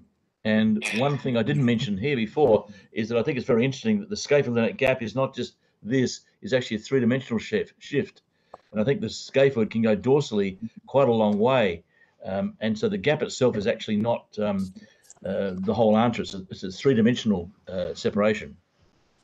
So that was, a, whole other paper. I'm sorry about that. thanks, thanks, Dr. Michael. Enjoyed your explanation because now, I have read this uh, article from Dr. Scott, uh, the role of ligament stabilizer, um, especially in the cadaveric study. And obviously, they have found that uh, to have a DC deformity, at least uh, you should have one of the ligament associated with the uh, uh, to be injured to cause this deformity. In fact, that was wonderful. I mean, we had also tried a cadaver and also found that the scapholunate injury, ligament injury alone does not produce the DC deformity. In addition, you need to have as you mentioned, the long radial ligament or uh, either a complex DIC uh, should also be injured to cause this. Uh, having said that, the, the, questions to the all the panelists um, is these, you know, treating the scaphoid um, injuries based on, you know, from Michael Sandow, the the three-dimensional view, is computer analysis, or do you really, you know, find the role of arthroscopy and and the use of Kirschner wires alone for scaphoid or three corner fusion uh, or four corner fusion. Are we overdoing it or what is the current rationale right now? Uh, so each uh, speaker can uh, uh, unmute themselves uh, and then they can talk for a few seconds.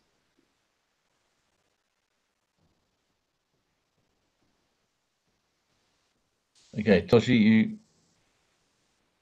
Yes. Uh,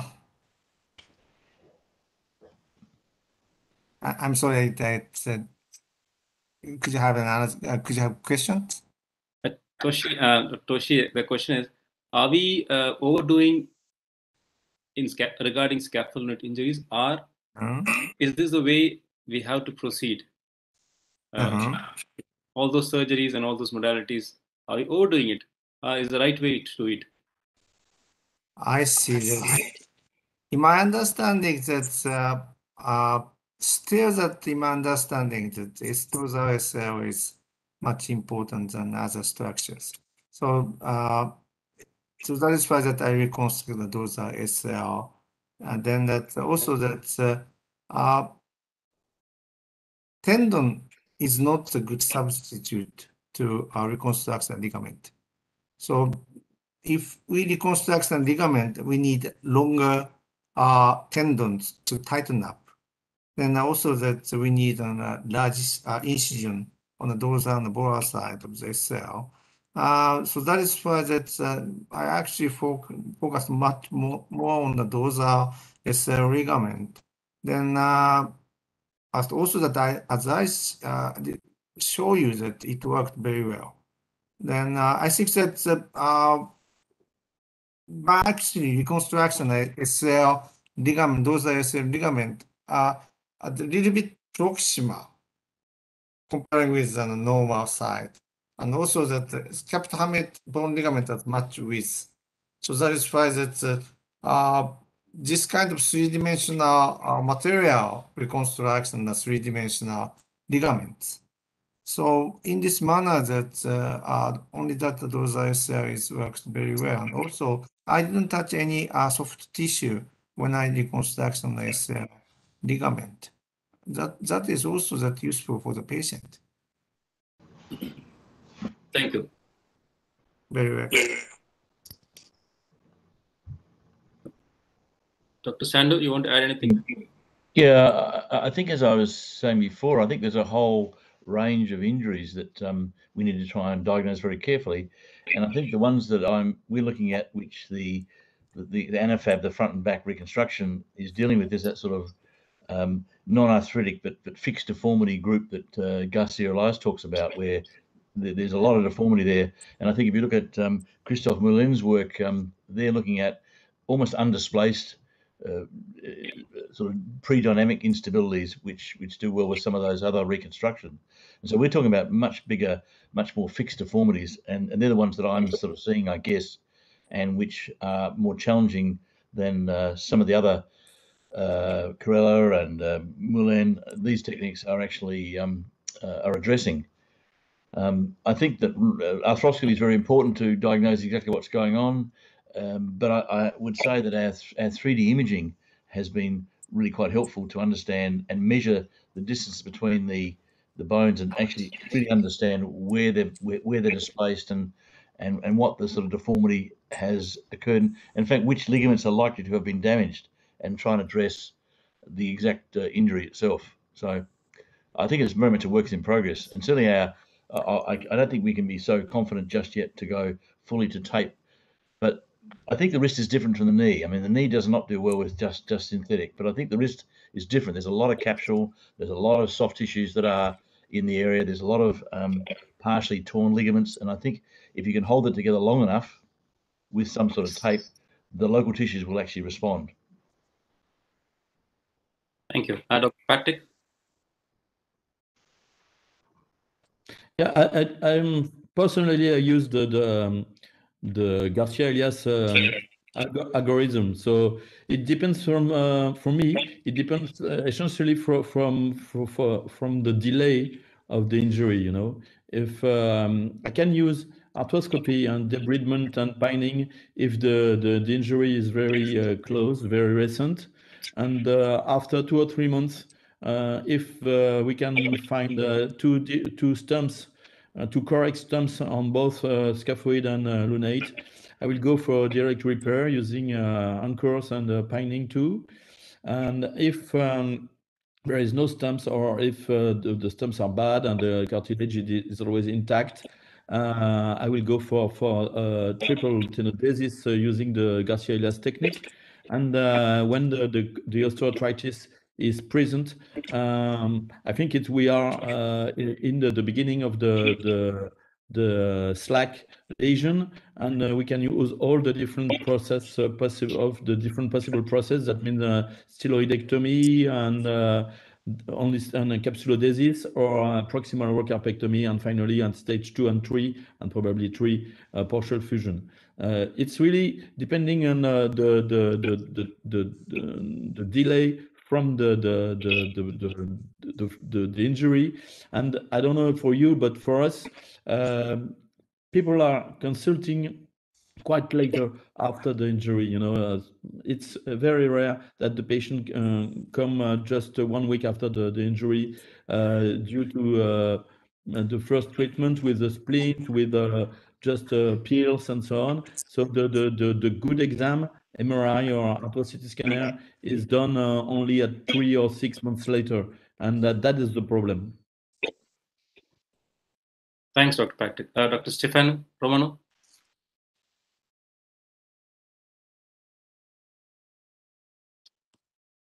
Uh, Dr. Romano? Yeah. Hear me? Yeah. Yep. Well, I have a similar uh, philosophy of the one of Patrick, but although we work together, we don't do exactly the same. We use we use the same algorithm that we that the author showed earlier, the the Garcia Elias algorithm. But then the surgery you do depends also of the type of, of patient you have. And um, I, in my practice, uh, the American hospital, we have uh, um, mostly non-manual workers. I don't have a lot of manual workers in my activity.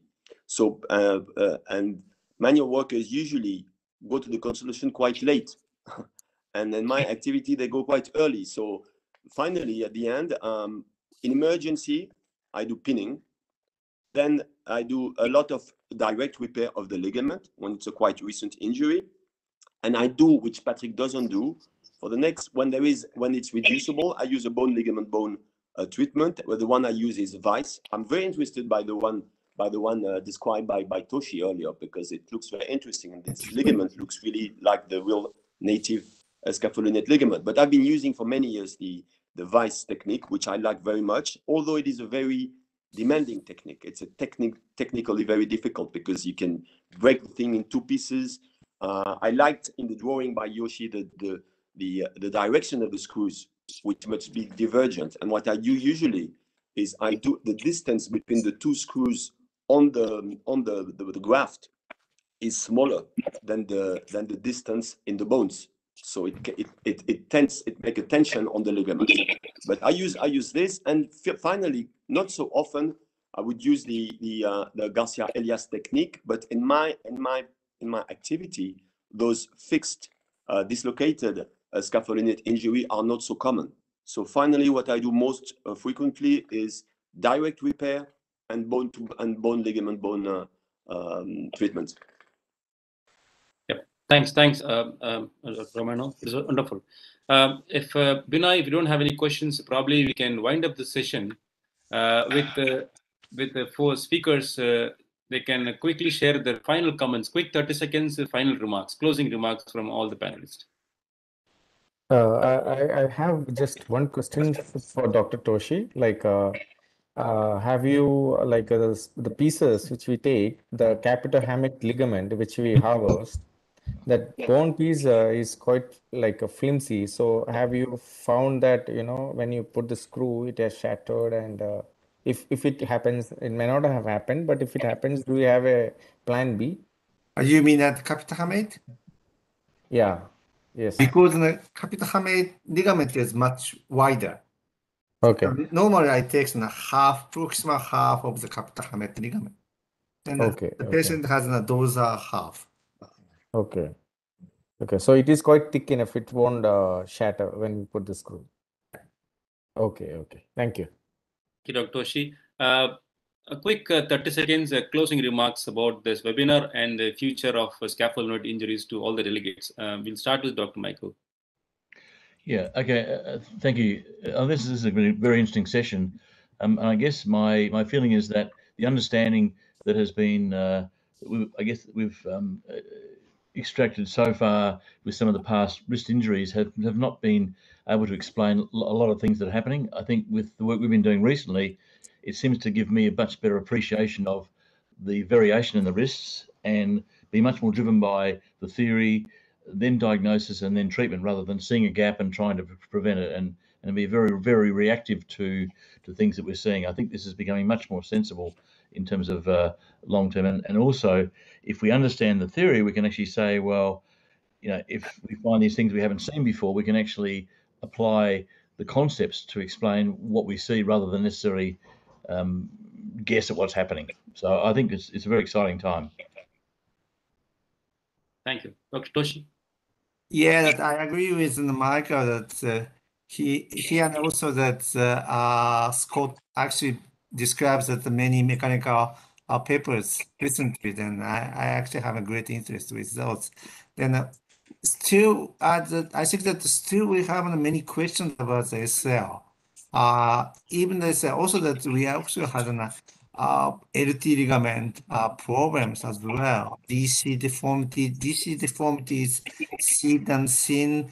Uh, also that's a perilunate injury and then uh, uh, uh, non-dissociative injuries. We have we have more, but still that we need to clarify those issues step by step. Uh, those are very important for us to uh, conquer this uh, very very difficult question. Thank you. Thank you. Good, Patrick?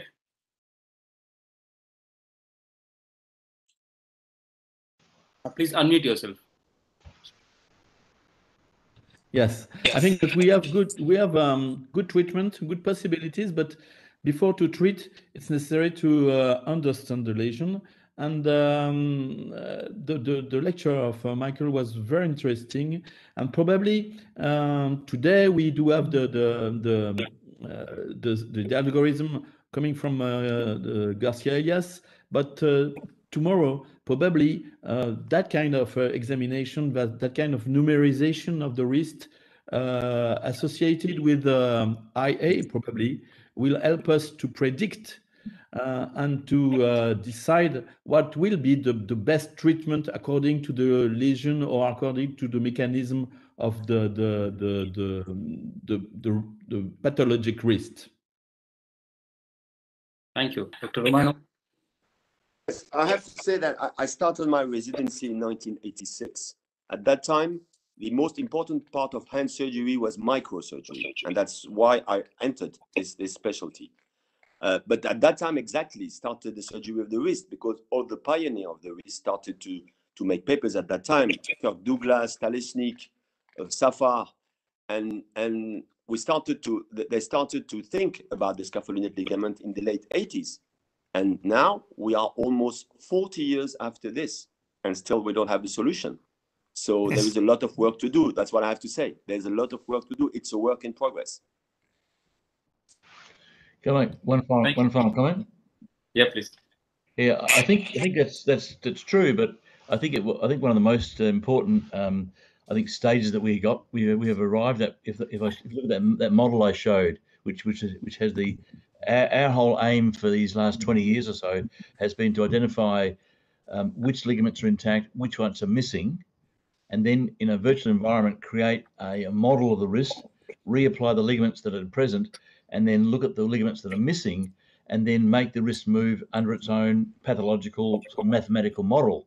And then we can then apply certain operations, certain repairs, certain ligaments, and then see how it actually changes. And then using things like uh, finite element analysis and, and loading patterns, work out whether we can actually reproduce what we what we, we find in terms of motion. So I think pre-trialing operations based on the patient's own pathology, I think is the key to the future.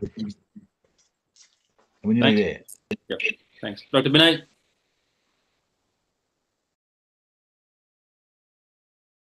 Binoy, unmute yourself, please.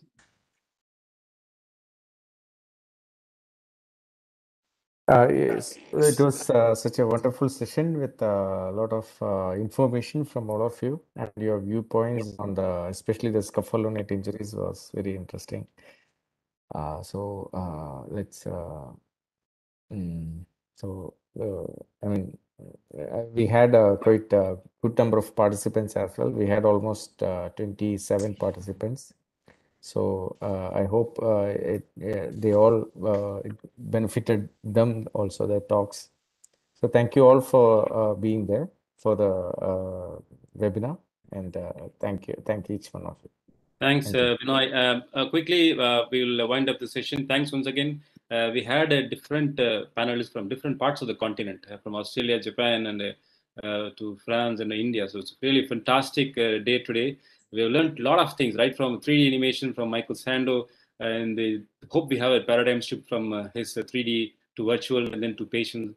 And Toshi almost uh, exactly, you know, uh, uh, mentioned like like reconstruction uh, tendons are not like uh, they, they behave don't like uh, behave like ligaments so it's it's a carry home message from toshi uh, ligament has to be like ligament and then dr patrick of course three uh, partial fusion does have a role and uh, yeah, but stefano and romano both uh, equally they contributed uh, well about the aspect of 3d uh, ct scan use of ct arthrogram and the, the role of the partial fusion and the fusion plates they have introduced of course we have late, we have learned many things. We all know that wrist is evolving. We need to change or we need to keep ourselves updated in all those things. A day will come where we will feel that wrist is, of course, in our hands. Uh, rather, till then, uh, we'll keep updating ourselves. Thank you all for this uh, wonderful day joining with us. And thank you once again. Wishing you all safe and healthy. Thank you. Bye bye. Okay. Thank you. Bye. Bye. Thank you. Goodbye. Thank you. Bye. Uh, Dr. Rono, Dr. Romano, Dr. Romano. Here we go. Okay, thanks, Dr. Michael. Uh, it was fantastic. Um, we enjoyed it. You you made it a day. I mean, it, was- yours was excellent. I mean, uh, the change in uh, complete understanding is from your talk. So amazing. Please keep doing your good, great work. And the best thing is, if someone could prove I'm prove I'm wrong, then we get even better. I don't I don't think anyone can prove it better because uh, well, it's interesting that the best thing that best thing could ever happened to a theory is it's disproven because that means a better theory turns up. you're right. You're right. I think it's amazing. Like uh, the, the difference in the proximal row and the distal row movement, and of course the, the rotations and the oblique uh, uh, views. The oblique uh, obliquity of the ligaments, they, they won't allow the you know the, they allow the row rotations completely different. I mean, I think mechanism is really tough to understand, and definitely Right. talk was amazing. Thanks. Good night. See you later. Okay, thanks. Bye. Right. Bye.